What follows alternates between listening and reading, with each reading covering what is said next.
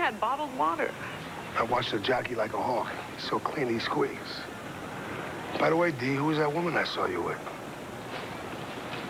Somebody I met. You a spy? Keeping an eye on you, you old dog. And you too? Well, okay, okay.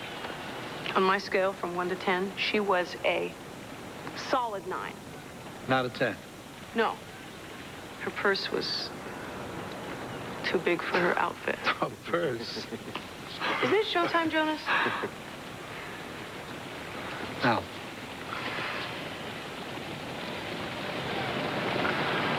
Now, it looks like he's going to go all the way. Watch when he reaches the far turn.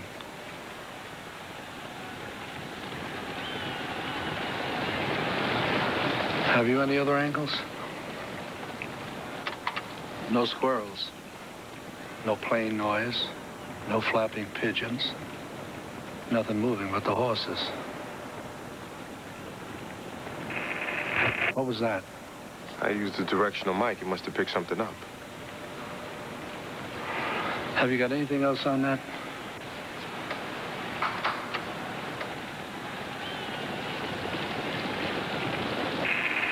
What the hell was that? I don't know. Some kind of audio anomaly. I'll run it through the filter. It might be some natural phenomenon like a sonic boom. Check it out, all right, Jonas? Nothing. Not a welt or an abrasion. The pellet gun would have left a scratch. I'm sorry. Well, something made the horse act weird in the stretch. I have the entire medical history. Nothing significant. If it's not drugs and he's not distracted, what the hell's going on? Did you ever see this before? Well, not this exactly. But I did have one that just flat out refused to go faster than a trot. No medical reason whatsoever. Then why? My best guess? Depression. Oh, come on. Depression? I knew you were going to look at me like that. The horse's emotional problems weren't high on my list of suspects. Hey, animals do have emotional problems. Doc, give me your theory. Anything will help. Okay. I think he cracks under pressure. Now, he's fine in practice, but you put him in a race, and something's causing him to lose. You're killing me. You're telling me that he has a fear of success? Uh, you can call it whatever you like, but it's clear he's our boy. Undergoes some kind of emotional transformation that's causing him to break stride.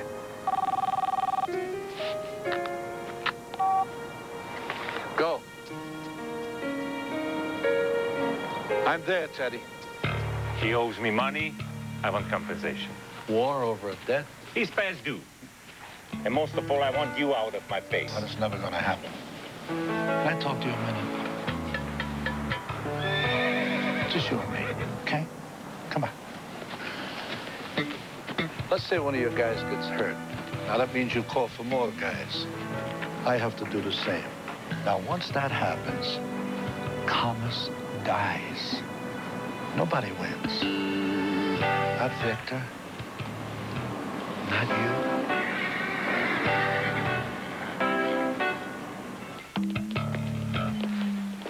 You have a visitor, Anthony. Nina, come here. I cut class. Nobody knows that I'm here. Sit down. What can I do for you? My mother told me that my father's not going to fight for me. You have to help me, Mr. Dellaventura. He's my father. I, I need him in my life. Of course you do. And he wants to be with you. It's just that things get complicated. Nina, you need to know that your father's doing this out of love. He doesn't want to put you in the middle of what's going on. I just don't want to lose my dad.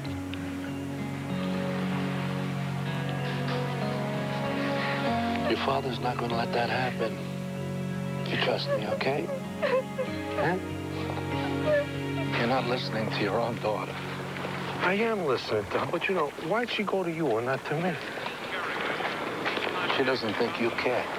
Oh, come on, that's nuts, Huh? You know what she told me? What? She told me that you taught her nothing is impossible. Dreams are important and how to ride the rainbow. That's what you taught her. And now you're giving up? I ain't giving up, but uh, I'm beginning to think maybe her mother's right. You know, maybe this head is full of holes. You both love your daughter. And Nina's a lot stronger than you think she is.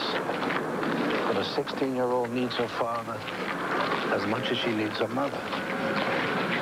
I understand that, but just let me get rid of this problem first, you know? I'll solve the problem before the court date. But I don't want you giving up. That day? This was only a couple of days ago. You were coming down the escalator. I was going up. Yeah, I saw you. I wanted to jump over to your side and follow you forever. You did? Yeah, true. Why didn't you? Did you see me? Yes. You played like you didn't. I know. Is that what you often do? No. No. No. You don't do that. No. I didn't think you were that type. I never do that. Well, what would have happened if I did jump over and follow you? Would I succeeded in the chase?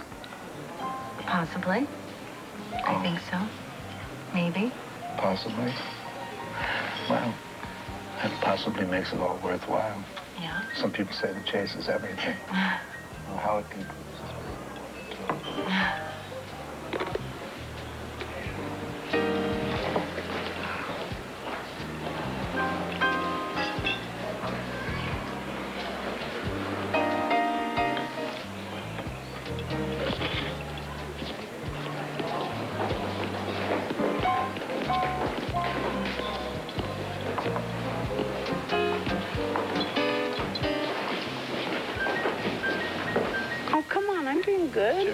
Break. You were the one who pushed me. I'm a little rusty at this. And you give me stage fright. I know, I know. I'm just, I'm just trying to make Just what? Just what? What? I'm just trying to make sure she treats you right. That's all. Okay. All right, I'm going, okay?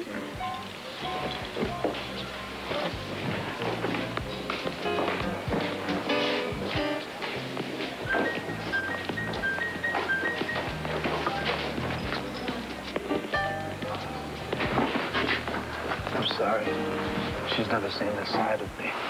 What side is that? This one. It's the side that says, thank you for being here with me. Well, that's easy to do. You're a surprise, Anthony.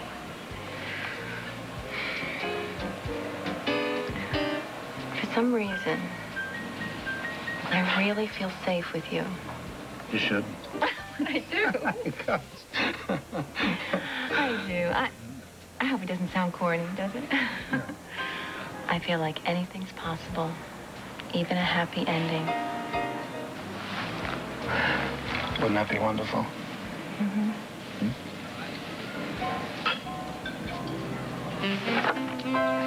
Life is a series of surprises.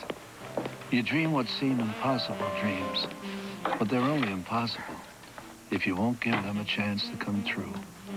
Two. And that would be AM. I think Frankie needs some closing up music. So, on top of everything else, you sing? Yeah, just a little. But I don't play too well. Oh, well, I can help you with that. I play a little.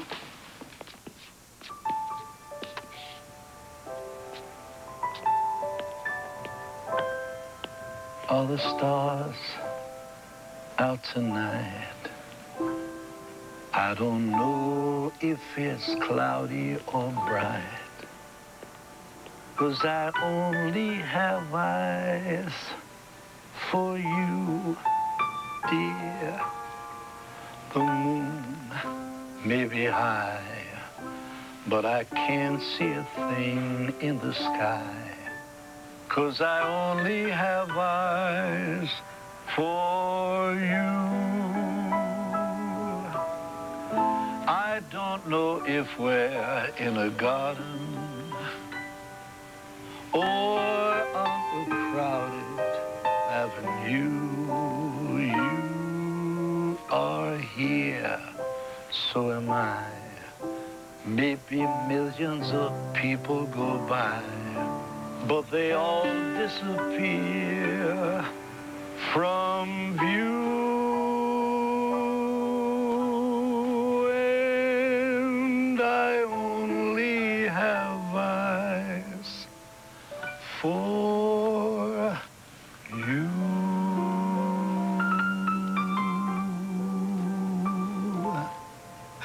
What do we do for an encore?